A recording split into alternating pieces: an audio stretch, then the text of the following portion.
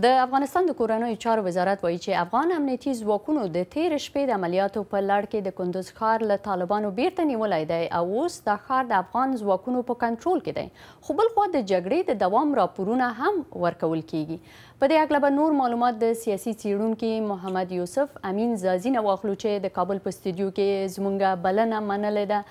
ځاځی صیب سلامونه او خپرونې ته هم ښه راغلاست. لومړۍ پوښتنه به هم مطرح کړم، د کندز له لاسه ورکول د افغانستان د امنیتي ځواکونو او حکومت لپاره څومره لویه ضربه ده؟ که یې افغان ځواکونه بیرته هم ونیسي، په مجموع کې به یې په امنیت څه اغیزه وي؟ ګورې خورکې ما پیغام د افغانستان امنیتي ځواکونو ته البته دوی مشرانو ته تر سطح د قومندانان امنیه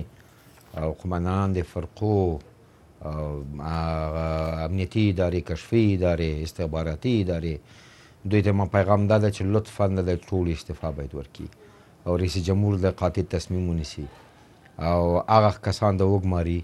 مو همېشه چیغي وهلي دي چي هغه د هیڅ تنظیم سي اړه ونه لري، هغه خپلواک اوسي، هغه قاطع خلک اوسي، هغه وطن پرسته اوسي، هغه شخص پرسته ونه اوسي، هغه په خدای عقیده ولري، هغه په ډالرو، په اقوامو، سمتونو او ګروهو باندي د دوی باید عقیده ونه اوسي. ددي اول مسج ده د افغانستان یې بل سي. ځاځی صاحب تاسو چارواکي ملامتوئ او استعفا ته یې بولئ، تاسو ددې پېښې پړه په چا باندې دقیق په چا باندې اچوي په چارواکو کې ډیر چارواکي دي د دومره مهم ښار په سقوط باید څوک ګرم وبلل شي او که وشي نو څه ډول قانوني چلند باید ورسره وشي خورکه د د نظم او د ډیسپلین او د امنیت سوکاله د افغانستان د وګړو ساتنه د عزت ساتنه د مال او سر ساتنه پنځه ادارې دي چې دا مسولیت لري د ملي دفاع وزارت د کورنۍ چارو وزارت، ملي امنیت ریاست، څارنوالې او قضا زه دغه ټول په کل کې په ټولنه کې عدالت تطبیقولی شي او ټولنه کې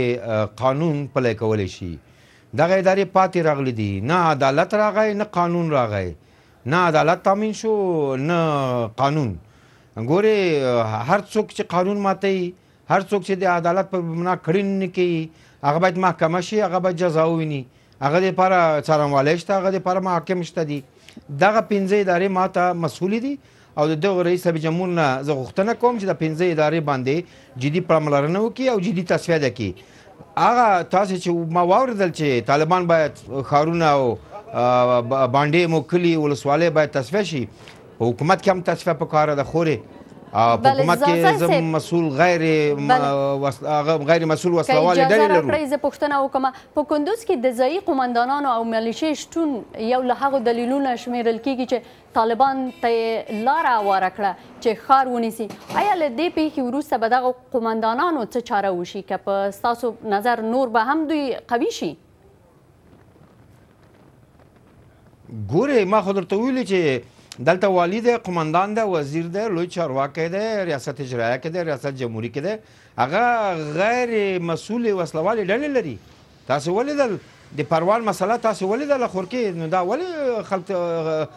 سترګې ته نه پټوي ډاکټر عبدالله رئیس د اجرایه ده وزیران یې ګوري والیان یې ګوري د یو مجرم ته ورغلل فاتحه یې ورته ورکړه دا څه معنا لري خورکې دا خو همدا معنا لري د بل خو څه نشته همدا خلک دي همدا کسان دي د غیر مسؤل وسلوال د ډلې دلته څه کوي قانون ولې نه پلی کیږي قانون ګوره رئیس جمهور قانون ته احترام نه کوي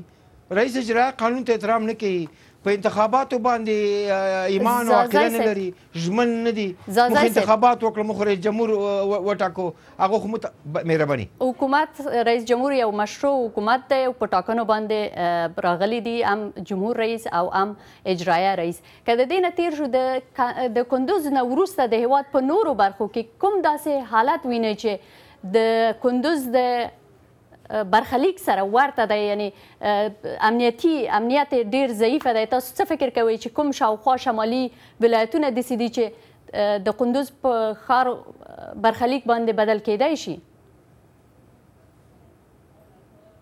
ګوره ټول استراتیژیکې نقطې د افغانستان د تهدید لاندې دي دښمن اولینه ضربه یې موږ ستراتیژیکې ښارونو ولایتو ولسوالیو ته او نقاطو ته ورکي ټول استراتیژیکې نقطې خو زه خور کې دغه وایم چې دغه بې عدالتي او بې قانوني د قانون ته احترام درناوی او په ټولنه کې او په حکومت کې عدالت نه وي ګورې دغه ناخوالې پیښیږي ګوره د الله پاک وایي دا د کار د که زه وایم که د الله پاک کلام د خور کې نو دوی چې دښته ژمن نه دي دغه خپله غیر مستقیمه همکاري ده د تروریستانو سره یې دغه نه تروریستان او د افغانستان د خلکو د خنه دغه وضعیت نه استفاده کوي بل اخر دغه څه وضعیت راځي خدای پاک ویل دي چې تاسو